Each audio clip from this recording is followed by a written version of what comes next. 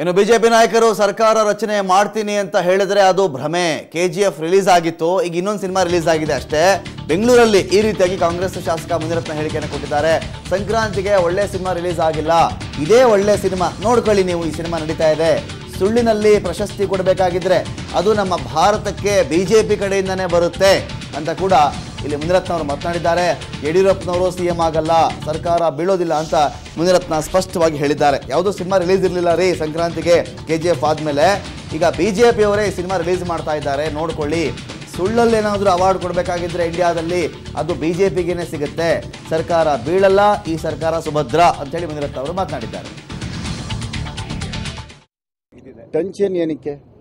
ಪ್ರಸಕ್ತ ರಾಜಕೀಯ ಬೆಳವಣಿಗೆ ಏನಾಗಿದೆ. ಮುಂಬೈಯಲ್ಲಿ ನಿಮ್ಮ ಶಾಸಕರುಗಳೇ ಇದ್ದಾರೆ. ಯಾರು ಹೇಳಿದ್ದು? ಮುಂಬೈಯಲ್ಲಿ ಯಾರು ಇಲ್ವಾ ಸರ್? ನಿಮ್ಮ ಕಾಂಗ್ರೆಸ್ ಶಾಸಕರು? ಯಾರು ಇಲ್ಲ. ಯಾರು ಇಲ್ಲ.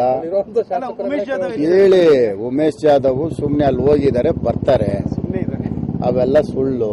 ಏನಾದ್ರೂ ಸರ್ಕಾರ ಹೋಗತ್ತೆ ಆಪರೇಷನ್ ಕಮಲ ಅಂದ್ರೆ ಆ ಭ್ರಮೆನಲ್ಲಿ ಏನನ್ನ ಬಿಜೆಪಿ ಅವರಿದ್ರೆ ಅದು ಸುಳ್ಳು. ಯಾವುದೇ ಕಾರಣಕ್ಕೂ ಸರ್ಕಾರ ಏನೂ ಆಗಲ್ಲ. ಐದು ವರ್ಷ ನಾವೇ ಆಡಳಿತ ಮಾಡ್ತೇವೆ. ಅರೆ ನನ್ನನ್ನು ಭೇಟಿ ಮಾಡ್ತಾರೆ. ಅರೆ ಎಲ್ಲರು ಯಾರಿಗೆ ಯಾರು ಬೇಕಾದ್ರೂ ಭೇಟಿ ಮಾಡ್ಬೋದು, ಒಳ್ಳೆ ಕತೆ ಆಯ್ತಲ್ಲ. ಆ ಭೇಟಿ ಮಾಡಿದ ತಕ್ಷಣ ತಪ್ಪರ್ಥ ಯಾತಕ್ಕೆ ಬೇಕು?